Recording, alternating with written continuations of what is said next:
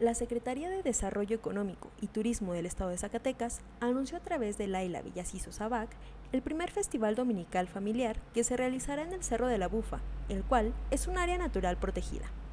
El festival busca ser replicado cada primer domingo del mes y surge como propuesta de los comerciantes, artesanos y personas del área turística que buscan impulsar, reactivar y conservar los lugares íconos de la ciudad, como lo es dicho cerro donde se encuentra la tirolesa, el teleférico, el Museo de la Toma de Zacatecas, entre otros atractivos que se encontrarán ofreciendo la promoción de 2x1 en todas las actividades. La propuesta nace en la búsqueda de lograr una reestructuración en el tejido de la sociedad zacatecana a través del patrimonio cultural y turístico del Estado. Pues las actividades son diversas y van dirigidas a toda la familia. El inicio del programa tendrá lugar el próximo domingo a partir de las 7 am con yoga holístico, viendo el amanecer desde el área natural protegida de la Bufa, con la maestra Anabel Aguilera.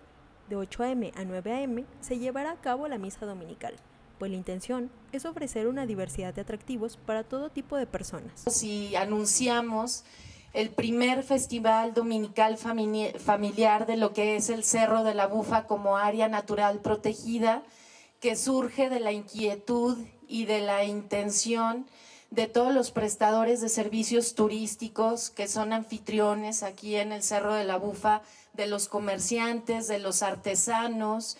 Al terminar la misa, las familias podrán disfrutar de la danza de los matlachines en el atrio de la iglesia de Nuestra Señora del Patrocinio.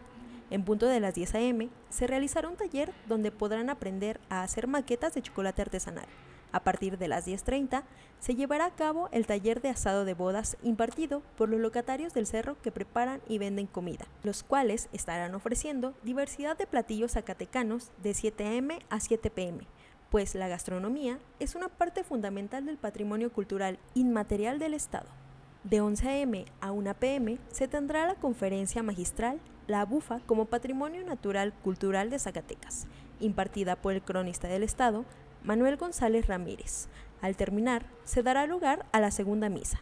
Para continuar con el programa, se contará con la presencia del Ballet Folclórico del Estado de Zacatecas, en punto de las 4 pm a 5 pm, en la explanada principal de la Bufa. Para finalizar, con una presentación magistral de la orquesta típica del Estado. De 9 a 10 de la mañana tendremos danza de atrio de los matlachines, aquí en el atrio de la emblemática iglesia de la Bufa. De 10 a 10 y media el taller de elaboración de maqueta de chocolate artesanal.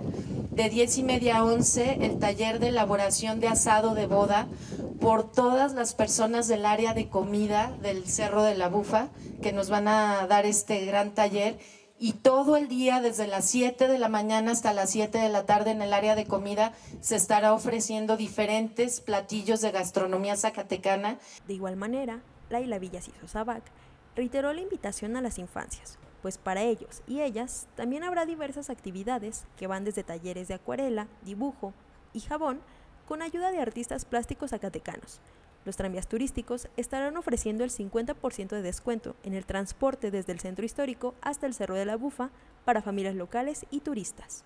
Entonces, hacer una invitación a todas las familias zacatecanas, a todos los niños, a todas las niñas, porque también tendremos talleres, como ya lo dijimos, de maqueta de chocolate, a través de la Dirección de Arte y Cultura del Ayuntamiento de Zacatecas habrá talleres de acuarelas, de dibujo, de jabón, de cera.